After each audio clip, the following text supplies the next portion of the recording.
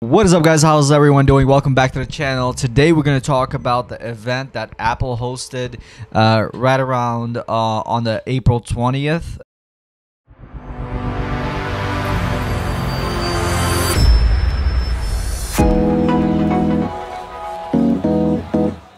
So uh, Apple had their event on 420 April 20th, and they announced the new Apple AirTags, and also they uh, announced the new iMac uh, with the M1 chip with different variations of colors, and lastly they announced the M1 iPad Pro. Besides those, they also announced a new Apple TV 4K and then a new remote for that. And also, Apple has created their new colored iPhone, which is a purple colored iPhone. We're just going to get into each one of those one by one. Apple AirTag being one of the first creations of Apple that lets you find um, your wallet, your keys, or uh, your purse. Uh, the Apple AirTags start at $29.99. That's for just one piece, or uh, 99 bucks for four. Uh, Apple AirTags measure at 1.26 inches in diameter, um, and it has a height of 0.31 inches or 8 millimeter. It weighs at 0.39 ounces or 11 grams. So it's a really, really tiny piece that you could just uh, put it uh, in your uh, key tag as a key tag or uh, basically in your wallet. I guess if you have a wallet, uh, you could just put it inside your wallet and just forget about it. And if you're like leaving the house, can't find your wallet, you just uh, open up the app and uh, there's a GPS system in the app that will lead you towards your item. What's great about uh, these AirTags is you can engrave up to four letters or emoji, uh, depending what you want, and they have different colors of casings. So uh, if you really like the colors of casing, I think they run around like $35 and they also have a really expensive one uh, the brown one i think hermes hermes i don't, hermes uh, one costs like right around three four hundred dollars which is bonkers.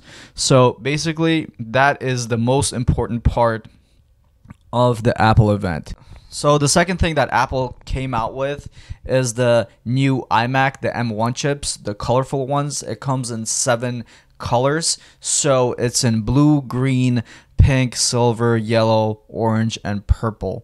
The power connector is magnetic, so it's really good. It just like really sticks in there, and it's really, really thin. It's only 11.5 millimeters. It has four Thunderbolts. It's a 4.5K Retina display, and the craziest thing is it has six speaker system that can fill out the whole room. Uh, really like that. It's pretty pretty thin, basically.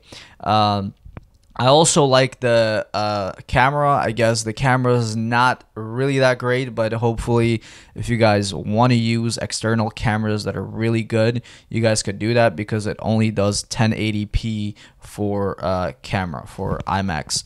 Uh, I don't know how to feel about the iMacs with different colors. I know if like 15, 20 years ago when I was in junior high, we used to use one of those big bumpy ones uh, in, in our computer class and I guess they just brought it back uh, after 15, 20 years. And the final thing that Apple came out with is the iPad Pro, the M1 chip. It's super fast. It's faster than any iPads from before. It has a LED screen. Uh, the storage goes up to two terabytes, and the speed can go up to 5G. So that's lightning fast. But it's still an iPad. Uh, I wasn't really a big fan of iPads. I'm a big fan of MacBook Pros. So uh, I'm not really sure if you can edit any videos on iPads, like professional YouTube videos, uh, as per se, on like uh, Premiere Pro. I don't think it might be uh, there, you know. But we will see it once it comes out. Most of these things will come out on April 30th. Today is uh, April 26th, I believe. Uh, so we have four more days of the launch since these items uh, are available in stores. So I was just in Apple Store uh, a couple hours back to see if they had those items, and they were like, "Nope, you have to wait until April 30th." that's also it with uh, iPad Pros. We should see and test it uh, when it comes out on April 30th. So not much different with the Apple 4K TV and the remote that it came with. The one thing that I really wanted to cover is the new iPhone, uh, the purple ones that Apple just created. Uh, it's really interesting why they created it because in the lines of iPhone, they had one of them that is separate from all the iPhones, which is the red line. The iPhone red line was created basically for awareness of HIV and AIDS and to support the, the treatment cause and with all that and uh, I don't really understand why Apple have created the purple um, purple kind of iPhone. Maybe it's because Steve Jobs' favorite color, and it has been 10 years, almost 10 years since Steve Jobs have passed away. Maybe they really wanted to honor Steve Jobs with a purple iPhone. Uh, that is it, guys. I covered most of it. Hopefully, these things will come out on April 30th and I get my hands on it. Uh, unlike all these YouTubers, they already have uh, all the Apple AirTags uh, or different kind of phones. So hopefully, when they come out, I'm gonna test them. I'm gonna unbox them uh, if I get the chance. But guys, don't forget to subscribe, like, share this video, and I will see you guys in the next video. Bye.